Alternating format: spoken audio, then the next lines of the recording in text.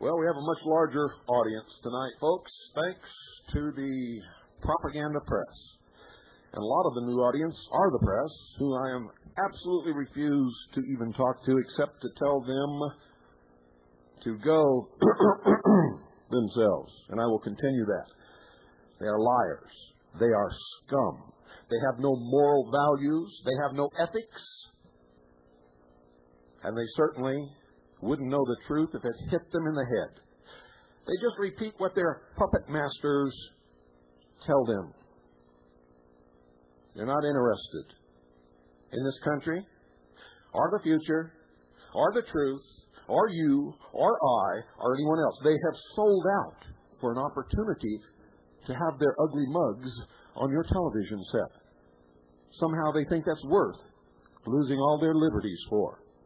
And of course, the promise that if they're really good and do what they're supposed to do and echo the Marxist Socialist Party line, that they might get to have a retirement check someday. Well, I hope they get it. I hope they get it, and I hope they get it from the cause that they're working for because they will live to regret it.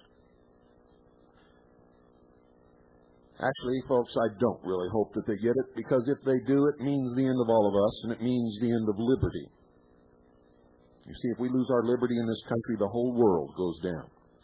We are the last bastion of freedom and we are the only ones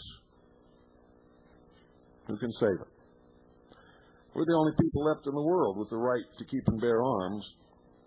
And if we give that up, guess what follows next? Ask the Lithuanians. Ask the people who survived the Bolshevik Revolution.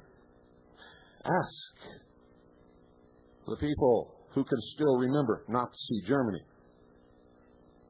Oh, yes. You better be careful what you ask for. You might get it. Don't go away. Got a lot to talk about tonight.